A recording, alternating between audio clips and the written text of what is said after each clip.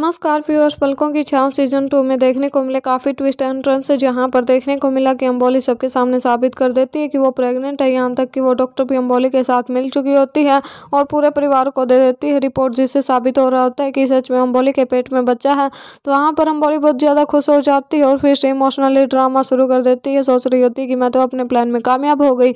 नंदन की खुशी का भी ठिकाना नहीं रहता है।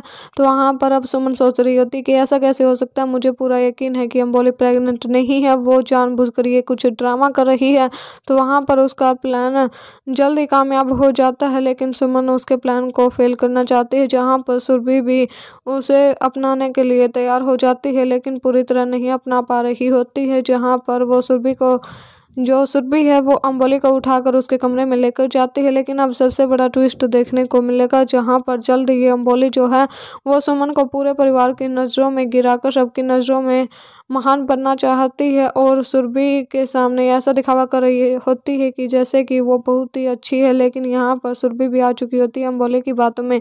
तो क्या आपकी बात सुमन पड़ जाएगी? अकेले क्या सुमन और सुमन मिलकर ला पाएँगे अम्बोली का असर सबके सामने?